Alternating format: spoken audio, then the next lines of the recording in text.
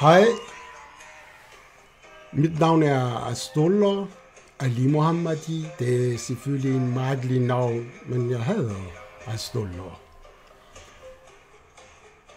Jeg havde ikke øh, Jens Jan Nielsen eller Lars Nielsen. Jeg hedder Astullah Ali Mohammadi. Men da jeg kom til Danmark, jeg sagde til mig selv, jeg skal lære dansk, og jeg skal blive hurtigt integreret i dansk samfund. Og det gjorde jeg. Så jeg fortæller jer, hvordan. Jeg begynder at gå sprogskole og øh, lære dansk. En dag vores lærer sagde til os, hvis man skal lære dansk, det bedre man skal gå i en sted, som øh, danskerne er. Så øh, på den måde, man får kontakt med danskerne. Man går i forskellige øh, klubber, værthus og så videre.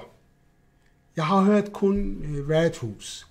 Og næste dag, jeg gik i vores lokale værthus og bestilte en tuborg og begyndte at drikke. Og det gjorde, jeg hver dag. Hver dag jeg gik øh, øh, i vores øh, værtshus og drikker 1, 2, 3, 4, 5, 6. Efterhånden jeg bliver alkoholiker, fordi jeg drikker for meget, og så der kommer masser af problemer, og min kone bliver skidt, så jeg bliver helt alene, men jeg var meget glad, fordi jeg begynder at forstår mere dansk og taler lidt bedre. Udover, jeg har lært, jeg har fundet en ven, han hedder Lars. I, uh, han kommer også ligesom mig i værtshus. Øh, han spørger mig, hvorfor kommer du her? Jeg sagde, fordi vores lærer sagde, det er meget godt, øh, man skal lære dansk. Men hvorfor her? Jeg sagde, fordi der er mange danskere her. Og så sagde han, sagde, okay. Så det gik meget godt. I vores værtshus, de snakker om to emner. Brøndby, Brøndby øh, øh, fodbold, og så indvandrere. Jeg har lært meget om Brøndby. For eksempel, jeg vidste godt, hvornår Brøndby spiller, hvornår vinder, hvornår tabt, øh, hvornår vi har købt øh, to øh, nu spiller, mange ting. Jeg bliver ekspert. Den anden øh, også jeg har lært, fordi de snakker meget om indvandrere, tyrker, araber kommer her, de aldrig bliver integreret, de går med tøj, deres kvinder går med tøj, eller øh, de Øh, de snakker ikke dansk, øh, de, de bliver for meget, de milker kommunen, der er mange ting. Men Lars altid siger til mig, du skal ikke bekymre over den, det er ikke dig, de snakker, de, fordi du er ligesom os, du drikker, du, øh, selvfølgelig du spiser også svinekød, så der er ikke nogen problemer, så det er okay. Men selvfølgelig, jeg har lært meget om Brøndby fodbold, også indvandrere. En dag, uh, Lars sagde til mig, ved du hvad, Stoller, dit navn er så mærkeligt, uh, øh, fordi danskerne kan ikke udtale dit navn.